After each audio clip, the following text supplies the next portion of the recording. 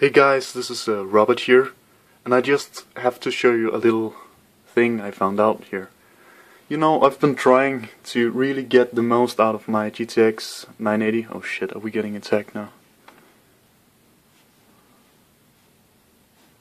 Okay, never, never mind. No, Oh, we are. Shit, doing this one-handed. Okay, hopefully we won't get attacked anymore. No, but um, trying to squeeze all the performance I could out of this card.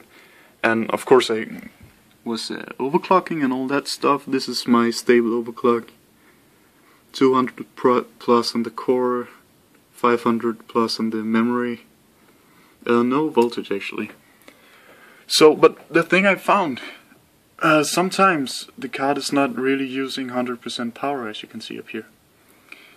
So, and you can see we are only at about like yeah almost 50 here on 1440p uh, with the, everything maxed out except except no anti-aliasing but a way to make the card use more power as I really wanted it to I went into this uh, NVIDIA control panel. Um, excuse me, because this is all in Danish, but I'll try and translate.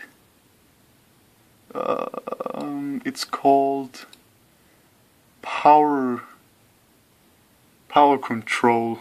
I would translate, and it default is is um, adaptive.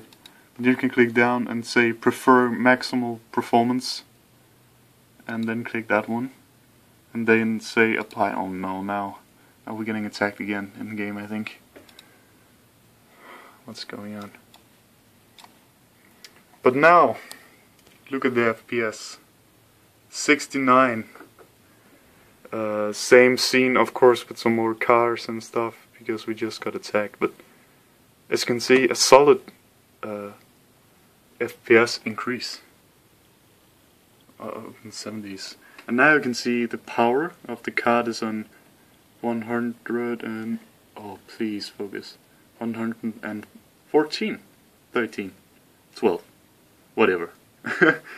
but that's just a little trick. And this is, uh, will, you know, it's not the same in every game, of course, but uh, this also worked in Battlefield 4 for me. Uh, if I played on, for example, those settings and still wanted to hit like uh, 144 FPS yeah, so go go check it out. Thanks for watching. Bye.